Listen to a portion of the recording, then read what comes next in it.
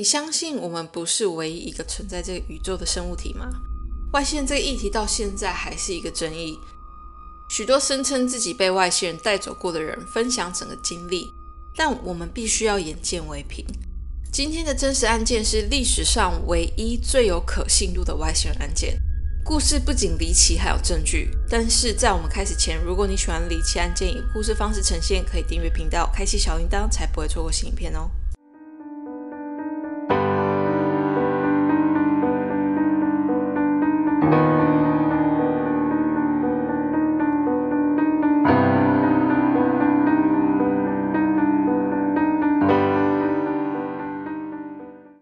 九六七年五月二十号，接近晚上十一点左右，一名五十岁 Stephen McLaughlin 的男子进了加拿大医院。他的身体虚弱到需要大儿子搀扶进去。柜台护士立即推床，开始询问身体状况。虽然男子身体不舒服，但他还是用尽最大力气跟护理师说，那天稍早前他的胸口跟腹部都烧伤了。既然他的头剧烈的疼痛以及恶心想吐，完全没有力气。护理师立即将他推到检查室。医生到了之后，就请他给他们看烧伤。他躺在床上，手往下将衣服往上拉。检查室里面的人看到他的腹部跟胸部都说不出话来，因为他的肚子烧伤形状有着非常诡异的图案，是他们没有看过的烧伤样子。当他们在检查他的烧伤的时候，就请他说明烧伤的过程。Stephen 内心挣扎，知道如果讲出来，可能会让他跟全家人遭到怀疑、争议，甚至把他们当神经病。但他最后还是决定要把真相说出来。他讲完过程后，在场的医生都大傻眼，睁大眼睛盯着 Stephen 看。不到二十四小时，他的故事已经上了全球所有的新闻媒体，也让美国跟加拿大秘密政府机构盯上他，想要马上一对一访问他。因为发生在 Stephen 身上的事情是一件非常重大的关键。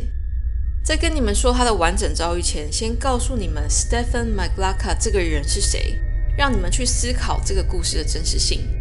因为到目前为止，猎鹰湖案件仍然是世界上最可信的 UFO 事件之一。Stephen McLaughlin 出生在波兰，二十世纪初，第二次世界大战发生后，他就被纳粹党带进集中营。他在里面目击了太多太多违法道德的刑罚。在一九四五年集中营被去除后，他协助美军翻译解放其他欧洲的集中营。在一九四六年，他决定带着太太跟三个小孩离开波兰，到加拿大温尼伯定居。接下来二十年，他们的生活都很顺遂。他在一间水泥工厂当机械师。但是在他年纪半百的时候，也就是一九六七年五月二十号，他的生活整个一百八十度大转变。就是著名的猎鹰湖事件发生的那一天。他本身是个业余的挖矿家，他没有工作的时候，就会在加拿大各地寻找矿物当他的兴趣。于是，在五月那天，他到了叫猎鹰湖的地区，他打听这个湖附近可能会有银矿。五月十九号礼拜五，他搭了巴士到离猎鹰湖最近的便宜旅馆住了一晚。隔天早上，他大概在五点起床，准备好之后就出发到猎鹰湖。经过几个践行之后，约九点左右，他发现爬坡道旁边有一个空旷处，没有任何树木，这代表底下可能藏有许多矿物。他把装备都穿上戴上后，就开始专注的挖，挖了几个小时都没有收获。十一点左右，他脱下装备，面对着湖，准备吃午餐休息。过了一个小时，大约是十二点十五分，他又穿上装备，开始专注工作。尽管他的锄头发出许多噪音。但他可以听到他背后传来的巨大声音。他停下动作，听到一大群鹅像发了疯的狂叫。于是他转身往湖面看去，第一眼就看到惊吓那群鹅的东西——两个发光物体盘旋，慢慢的飞过湖面上，往他的方向去。当下，Stephen 看着这个飞行物体，并没有觉得害怕。他认为这一定是军事飞机，所以就一直盯着这两台飞行物看。飞行物飞到距离约他一百五十英尺左右就停下来，其中一台红灯变橘光后就往上飞，消失在坑空中；另外一台则是慢慢下降到那块空地，降落后红灯就变成了橘色光环，飞行物内发出了一道超级强的紫光，让他很难直眼看那台飞行物。于是他将眼罩戴上，看着停在他前面四十五英尺左右的飞行物，预期机长会即将下飞机。在等待动静的同时，他拿出了随身携带的绘画本，开始描绘眼前看到的飞行物。之后过了三十分钟，飞行物的门终于打开，里面的紫光也照出来。他没有办法看到里面到底是什么，只能等里面的人走出来。可是奇怪的是，门开了之后还是没有动静。因为太好奇，他就决定走过去要呼喊里面的人。